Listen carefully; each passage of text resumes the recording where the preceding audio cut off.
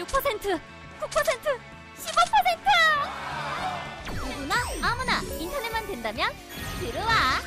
각양각색 증권 정보 함께한다 이데일리 온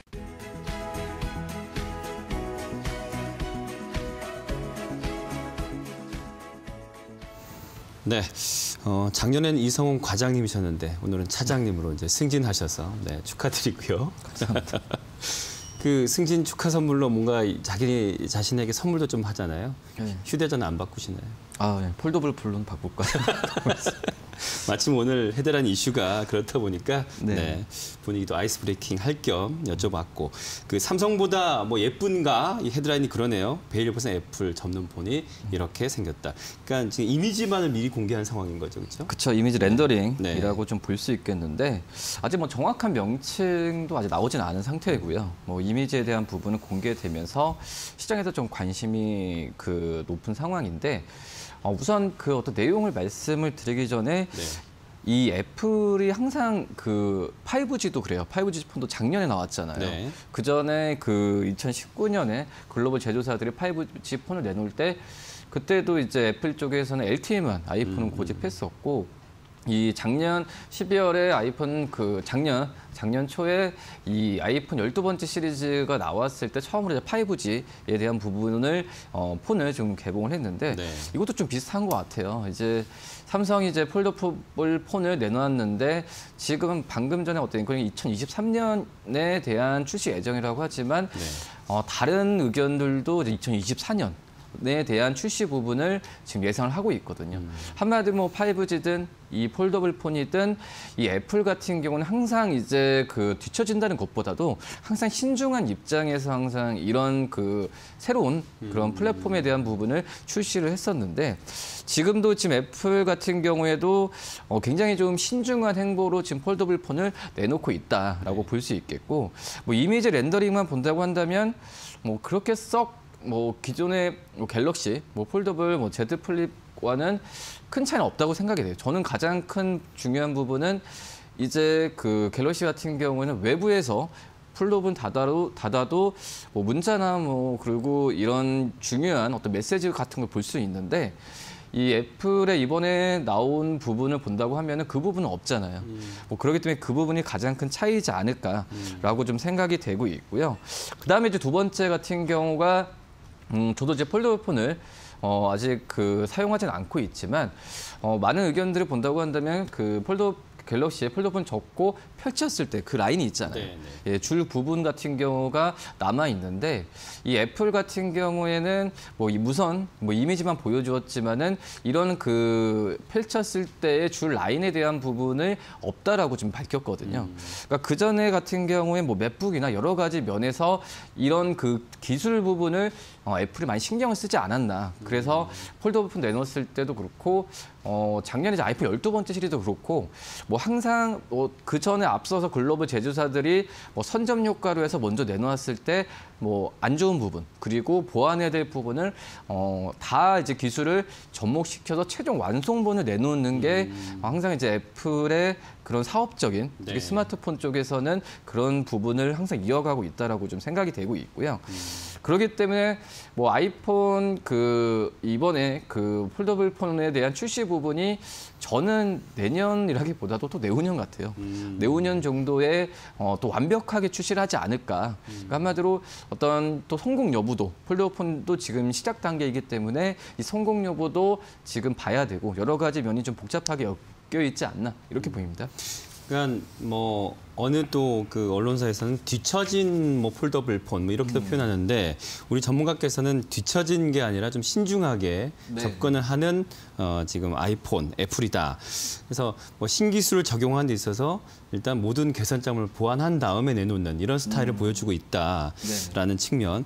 근데 그 지금 삼성 폴더블 폰하고 당연히 비교될 수밖에 없는데 그 차이점이 장점의 차이점이면 좋은데 그게 장점의 차이점인지 아까 언뜻 들어보니까 어, 포- 갤럭시 폰은 접어도 볼 수가 있지만 특 중요한 문자 메시지들을 근데 아이폰 못 본다는 거잖아요. 그렇죠? 네. 그런 것들이 유저들한테는 어떻게 좀 느껴질지 이런 네. 점들은 좀 생각해 봐야 되지 않을까요? 네.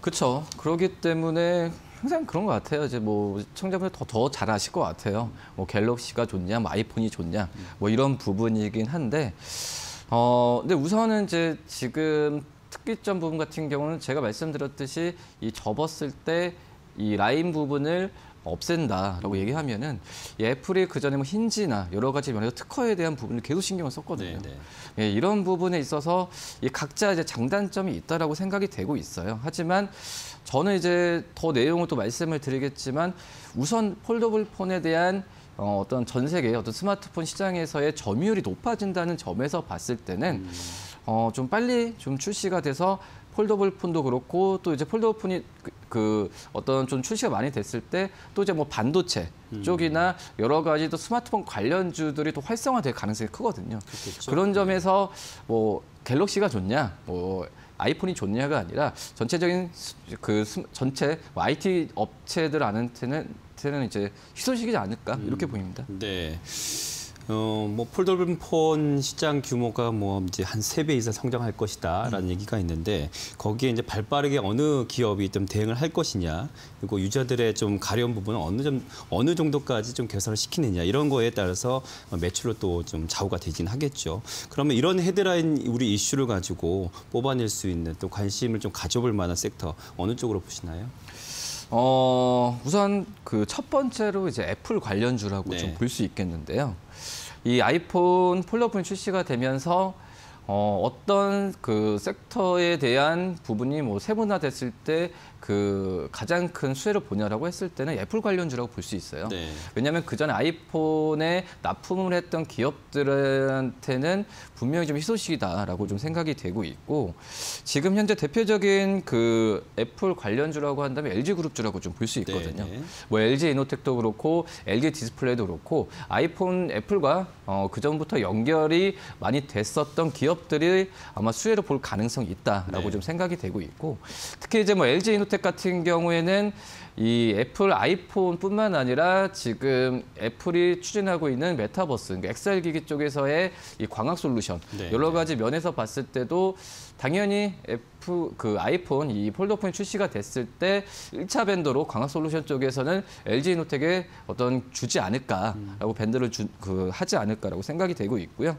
그다음에 역시 뭐 LG 디스플레이 같은 경우에도 항상 애플의 신사업이 출시를 했을 때 수혜를 받는 기업으로 좀 나오고 있다 라고 좀 볼 수 있겠고 그렇기 때문에 음 저는 그 특히 LG 디스플레이보다도 어, LG 디스플레이도 마찬가지고 LG 이노텍도 마찬가지고 주가가 작년 뭐 11월부터 이미 이런 부분이 좀 반영하지 않았나라고 좀 생각이 그렇죠. 되고 있어요. 네. 그리고 이 출시 부분이 2023년, 2024년으로 얘기하고 있기 때문에 실질적인 그 어떤 실적에 잡히는 부분 같은 경우에도 뭐 내년 초로 봐야 되지 않을까라고 좀 생각이 되고 있고 어 다만 이제 어떤 그 수주에 대한 부분에 있어서 뭐 몇 개뭐 1개월, 아, 1년, 6개월 전부터 수주에 대한 얘기가 나올 가능성이 크기 때문에 이런 기업들에 대한 관심을 좀 어, 꾸준하게 좀 가져도 괜찮지 않을까라고 좀 생각이 되고 있고 네. 또 이제 뭐 인터플레스나 이런 PCB 업체들 같은 경우도 대표적인 애플 관련주로 꼽히기 때문에 좀 관심 있게 봐도 괜찮지 않을까 이렇게 보이고요. 네. 그 다음에 이제 역시 뭐 폴더폰 관련주들도 서- 서두에 말씀드렸듯이 애플이 폴더폰 출시됐을 때 글로벌적인 어떤 그 성장세, 성장세에 대한 부분에 있어서 관심이 높아지는 부분이기 때문에 이 콜- 폴더폰에 대한 부분이 뭐 애플에 납품하지 않더라도 뭐 갤럭시 많이 납품하고 있는 뭐 네. KH바텍 그리고 뭐 파인테크닉스 그리고 BH 이런 기업들 같은 경우에도 관심을 가져야 되지 않을까라고 생각이 되고 있고요. 네. 마지막으로 봤을 때는 역시 반도체주입니다. 역시 이 출시됐을 때 뭐 반도체에 대한 수요 부분도 당연히 노- 그 늘어날 가능성이 크기 때문에 네. 뭐 삼성전자, 뭐 SK하이닉스 이런 기업들에 대한 좀 관심을 또 가져야 되지 않을까 이렇게 보입니다. 반도체 공급난 부족 현상은 어떤 영향을 크게 미치는 않을까요? 그렇죠. 근데 그거는 좀 지켜봐야 될 것 같아요. 지켜봐야 될 것 같은데, 근데 우선 재미있는 사항은 이 삼성전자가 이 스, 스마트 폴더블 폰에 대한 출하량의 생산 계획을 굉장히 높여놨거든요. 반도체 공급난이 해소되기 되지 않더라도 지금은 일반적인 갤럭시 S 많이 쓰는데 저도 지금 쓰고 있긴 하지만 네. 뭐 갤럭시 S, 갤럭시 노트 이것보다도 갤럭시 그 폴더블 폰, 그러니까 한정된 자원 안에서 갤럭시 폴더블 폰으로 더 생산량 늘리겠다고 밝힌 점을 본다고 하면은 어 우선 지금 대세 대세라기보다도 이거에 대한 부분이 어떤 좀 많이 바뀌고 있고 어, 공급난에 대한 부분에 어, 크게 신경 안 써도 되지 않을까 폴더블 폰 자체적으로 봤을 때는 그런 좀 생각이 됩니다. 네. 매출량을 그만큼 늘려놨다는 건 다 공급할 수 있다. 또는 네, 뭔가 재고 물량이 있다. 이렇게 네. 또 짐작할 수 있는 부분이겠죠. 자, 그러면 관련 테마 안에서 아무래도 오늘 이제 이야기가 폴더블 폰이다 보니까 이 안에서 좀 그 정보를 찾아야 될 텐데 앞서 몇 가지 정보를 좀 말씀해 주셨어요. 네. 그 삼성 갤럭시 그 폴더블 폰 나왔을 때 한참 또 급등했었던 KH바텍을 비롯해서 네. 몇몇 종목도 좀 기술적인 분석도 좀 해주시죠. 네, 우선 지금 현재 지난주부터 좀 주가가 흐름이 좀 좋았어요. 음. 말씀드렸던 이 KH바텍, 뭐 이번 주 주초에는 좀 떨어지고 있긴 하지만 네, 네. KH바텍 같은 경우에 지난 2주 전에, 2주 전에 그 주가가 좀 반등하는 맞아요. 모습을 좀 보여주고 있고요. 정말 대미를 장식했군요. 그렇죠. 네, 네. 이 KH바텍은 대표적인 그 갤럭시 Z 플립의 수혜주라고 좀 많이 평가를 받고 있는데 이 KH바텍은 이제 외장인지죠. 외장인지 쪽에서의 납품을 하고 있는 그런 기업이라고 좀볼 수 있겠고 그 다음에 이 파인테크닉스 같은 경우에는 이 내장 힌지예요. 내장 힌지이기 때문에 음, 지금 파인테크닉스는 이 폴더블폰에 대한 얘기 나왔을 때 가장 큰 어떤 실적 성장세와 주가 흐름이 올해 작년에 굉장히 좋았다라고 네. 좀볼 수 있겠고 뭐 이 두 기업도 두 기업 마찬가지로 지금 주초에 좀 조정을 받고 있는데 뭐 큰 무리는 좀 없는 그런 구조로 가고 있다라고 볼 수 있겠고요. 네. 그다음에 이제 뭐 BH 같은 경우에는 대표적인 이 PCB 업- 그 폴더블 폰 어, 수혜주이기 때문에 이 세 기업을만 본다고 하더라도 이 폴더블 폰에 대한 관심이 작년 좀 연말부터 좀 올라오기 시작했다라고 좀 판단이 되고 있어서 음. 네네. 이 기업들을 좀 관심있게 봐도 괜찮지 않을까 이렇게 보입니다. 지금 세 종목 중에는 그래도 실적을 보니까요. 그래도 KH 바텍이나 파인테크닉스가 좀 매력적으로 보이는데 이 중에서 어떤 우리 종목을 더 관심 있게 볼까요? 음 저는 이제 파인테크닉스 파인테크닉스. 예, 네. 우선 뭐 메탈 플레이, 어, 메탈 플레이트라고 하는데 우선 뭐 내장 힌지 쪽이라고 좀 간단하게 좀 생각하시면 될 것 같고요. 이 폴더폰 같은 뭐 이제 그 이 파인테크닉스도 마찬가지지만은 항상 신제품 출시 뭐 6개월 전부터 주가 흐름이 항상 좋았었거든요. 네. 뭐 이번에 갤럭시도 올해 같은 경우 6월과 8월 사이에 새로운 어, 또 모델을 나올 가능성이 크기 때문에 역시 뭐 판매량이나 여러 가지 면에서 어, 좋아질 것으로 좀 판단이 되고 있고요. 지금 현재 본다고 하더라도 이 어떤 여러 가지 삼성전자가 이 스마트폰의 디자인과 기능을 계속 접목을 시키게 된다고 한다면 이 파인테크닉스의 메탈 플레이트에 대한 그 수요는 계속 늘어난다라고 좀볼 수 있겠고 어, 우선 지금 IT 부품이나 LED 조명 여러 가지 쪽에서의 사업 분야를 늘리고 있는 상황이기 때문에 저 이제 파인테크닉스가 이 메탈 플레이트라면 어떤 기술이거든요. 이거에 대해 상용화에 대한 부분이 점점 더 늘어난다는 점에서 봤을 때 이 파인테크닉스가 제가 말씀드렸던 종목 중에서 좀 관심 있게 네. 어, 봐야 되지 않을까라고 좀 판단되고 있고요. 또 이제 모바일 기기 뭐 내외장 케이스 같은 경우는 분명히 필요할 거거든요. 그렇기 때문에 이 힌지에 대한 수요는 계속 늘어나지 않을까라고 생각이 되고 있고 다만 이제 이번에 애플이 그 힌지에 대한 부분에 있어 내재 내재화를 하고 있잖아요. 네.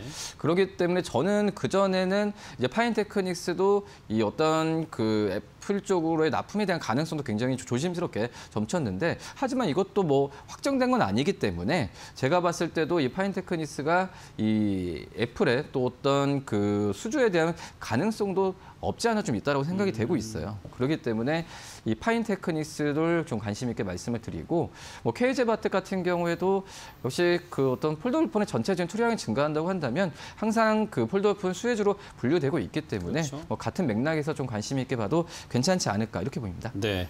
파인테크닉스가 지금 지난해 연초 뭐 비해서 지금 주가는 180% 넘게 지금 급등한 상황인데 최근에 외국인 기관 수급이 좀 받쳐주진 않고 있어요. 하지만 상승 여력이 충분히 모멘텀 있어 보인다는 말씀이신데 매매 전략 우리 좀 마무리할까요 이거? 네. 네, 우선 뭐 파인테크에서 많이 올랐다고 하더라도 저는 어떤 성장 성이나 실적에 대한 기대감으로 본다고 한다면 어, 충분히 지금 현재 가격에서도 더 올라갈 가능성이 있다라고 판단되고 있고요. 주가 흐름 같은 경우도 계단식으로 안전하게 좀 가고 있거든요. 네. 그렇기 때문에 지금 이제 12,200원 정도면 충분히 어, 좀 매수 타이밍이지 않을까라고 판단되고 이 목표가는 간단하게 10% 정도로 해서 13,200원에서 400원 사이 좀 말씀을 드리고 손절가는 11,000원 말씀드립니다. 네. 자, 뭐 내후년쯤 되겠군요. 아이폰 폴더블 폰 좀 어떻게 최종 완성될지 좀 기대 좀 해보고 오늘 머선 1위구는 KTB 투자증권 여의도 지점의 이성웅 차장과 함께했습니다. 오늘 말씀 고맙습니다. 네, 감사합니다.